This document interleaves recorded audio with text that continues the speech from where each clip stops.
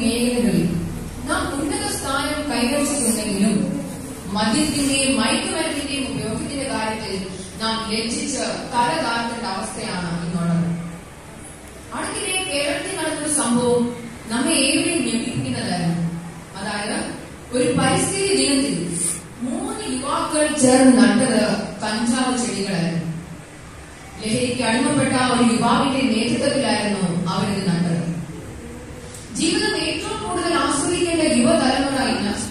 ഇതുപോലെ ലഹരിക്ക് അടിമപ്പെട്ട് വൈദ്യുതി പോകുന്ന വാർത്തകളാണ് നാം ദിനം പ്രതി കേൾക്കുന്നത് ആൺപെൺ വ്യത്യാസമില്ലാതെ കുട്ടികളിലും യുവജനങ്ങളിലും എല്ലാം തന്നെ ലഹരി പല രൂപത്തിലും പല ഭാവത്തിലും പിടിമുറുക്കുന്നു ഇന്ന് ലോകത്ത് റിപ്പോർട്ട് ചെയ്യപ്പെടുന്ന കുറ്റകൃത്യങ്ങളിൽ പ്രതികളായിട്ടുള്ള കുട്ടികൾ യുവജനങ്ങൾ മുതിർന്നവർ എല്ലാം തന്നെ ലഹരിക്ക് അടിമകളാണ് എന്ന് നമുക്ക് കാണാൻ സാധിക്കും അതുപോലെ തന്നെ കൊലപാതകങ്ങൾ അക്രമങ്ങൾ വാഹന അപകടങ്ങൾ വരുന്നതിന് പിന്നിലും ലഹരിയുടെ ഉപയോഗം ഉപയോഗമാണ് കാരണം എന്നതിന് സംശയമില്ല. എന്തുകൊണ്ടാണ് ഇന്നത്തെ സമൂഹം ലഹരിയുടെ നീരാളിപ്പിടുത്തത്തിൽ അകപ്പെട്ടു പോകുന്നതെന്ന് ചോദിച്ചാൽ നിരവധി കാരണങ്ങൾ നമുക്ക് ചൂണ്ടിക്കാണിക്കേണ്ടി വരും എന്നാൽ പ്രധാന കാരണം ദൈവഭയമില്ല എന്നതാണ്. ദൈവഭയമില്ലാത്തതിനാൽ ഇത് പല കുടുംബ ബന്ധങ്ങളും ശിഥിലമാകുന്നു. ഒരു ചിന്തകൻ ഇപ്രകാരം പറയുന്നു സമൂഹത്തിന്റെ അടിത്തറ കുടുംബമാണ്. ആ അടിത്തറ ഇളകിപ്പോയാൽ സമൂഹം നാശോന്മുഖമാകും സമൂഹത്തിന്റെ അടിത്തറ കുടുംബമാണ്.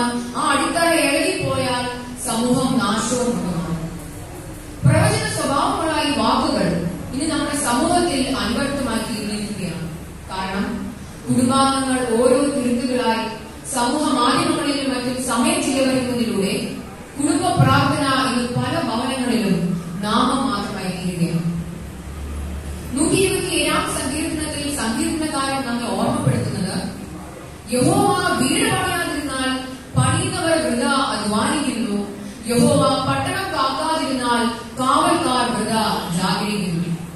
യഹോവ വീട് പണിയാതിരുന്നാൽ പണിയുന്നവർ വൃത അധ്വാനിക്കുന്നു യഹോവ പട്ടണം കാക്കാതിരുന്നാൽ കാവൽക്കാർ വൃത ജാഗരിക്കുന്നു. അതിനാൽ ദൈവിക ചിന്തയ്ക്കും ദൈവിക ആരാധനയ്ക്കും സ്ഥാനം നൽകണം. കാരണം ക്രിസ്തീയ ജീവിതം എന്ന് പറയുന്നത് പരിശുദ്ധാത്മാവിനുള്ള ജീവിതം. പൗലോസിയ നമ്മോട് പറയുന്നത് നിങ്ങൾ ദൈവത്തിന്റെ മന്ദിരമെന്നും ദൈവത്തിന്റെ ആത്മാവ് നിങ്ങളിൽ വസിക്കുന്നുവെന്നും നിങ്ങൾ അറിയുന്നില്ലയോ? ദൈവത്തിന്റെ മന്ദിരം വിശുദ്ധമല്ലോ നിങ്ങളും അവണം തന്നെ. ഈ ഒരു തിരിച്ചറിവ് നമ്മളിൽ ഉണ്ടാകുമ്പോഴാണ് ശരിയേത് തെറ്റേത് നന്മയേത് തിന്മയേത് ഉത്കൃഷ്ടമായതേത് മ്ലേച്ഛമായതേത് എന്ന് തിരിച്ചറിയാൻ നമുക്ക് സാധിക്കുകയുള്ളൂ. അതായത് പാപബോധം നമ്മളിൽ ഉണ്ടാകും. തലമുറയുടെ ശാപം എന്ന് പറയുന്നത് ദൈവഭയവുമില്ല പാപബോധവുമില്ല. ലഹരിയുടെ ഉപയോഗം ഇന്നത്തെ സമൂഹം തെറ്റായോ പാപമായോ കാണുന്നില്ല. പകരം മാലിന്യയുടെ മാനദണ്ഡമായിട്ടാണ് ഇന്ന് പലരും ഇതിനെ കാണുന്നത്. അതിനാൽ ദൈവഭയവും പാപബോധവും നമ്മളിൽ വരേണ്ടതില്ല നൂറ്റി മുപ്പത്തി ഒമ്പതാം സങ്കീർത്തനത്തിൽ ദാവീദ് രാജാവ് പ്രാർത്ഥിച്ചതുപോലെ നമുക്കും പ്രാർത്ഥിക്കാം. ദൈവമേ എന്നെ ശോധന ചെയ്ത് എന്റെ ഹൃദയത്തെ അറിയണമേ.